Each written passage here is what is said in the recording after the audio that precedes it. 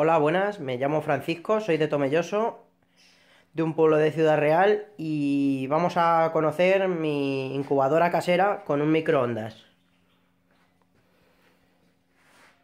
Como podréis ir viendo, tengo aquí para su regulador de luz, el regulador del ventilador, aquí tenemos su su luz para cuando está apagado, que como comprobamos se puede encender y apagar desde el botón.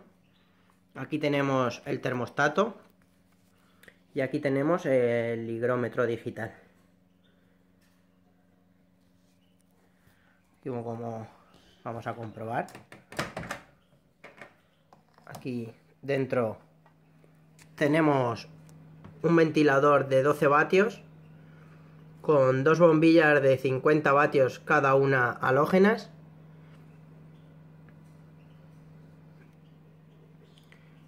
Tenemos la, la bandeja volteadora automática con un motor del microondas.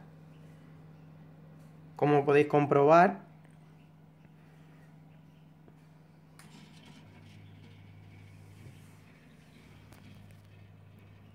Ahí la vemos como voltea.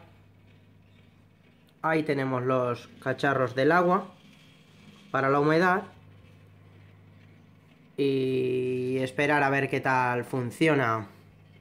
Antes tenía puesto un ventilador de 220 vatios y me resulta sobre todo que hace mucho ruido y echa mucho aire, entonces me he propuesto a cambiarle uno de 12 vatios.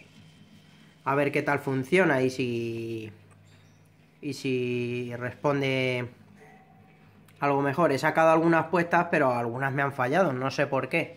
Estoy investigando a ver por qué, por qué fallan. Y nada, eso es lo que, lo que tengo. Mi incubadora casera, hecha totalmente con un microondas, como podéis ver.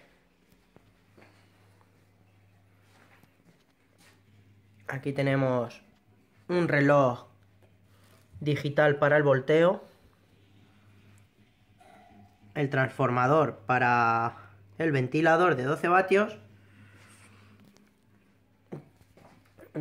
aquí cuando lo tenemos, la regulación del, del botón, como podéis ver, le podemos quitar y poner. Aquí tenemos que va cogiendo su temperatura.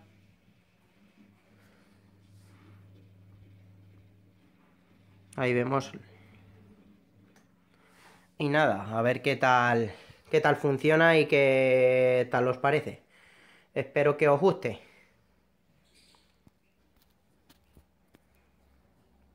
Muchas gracias y un saludo.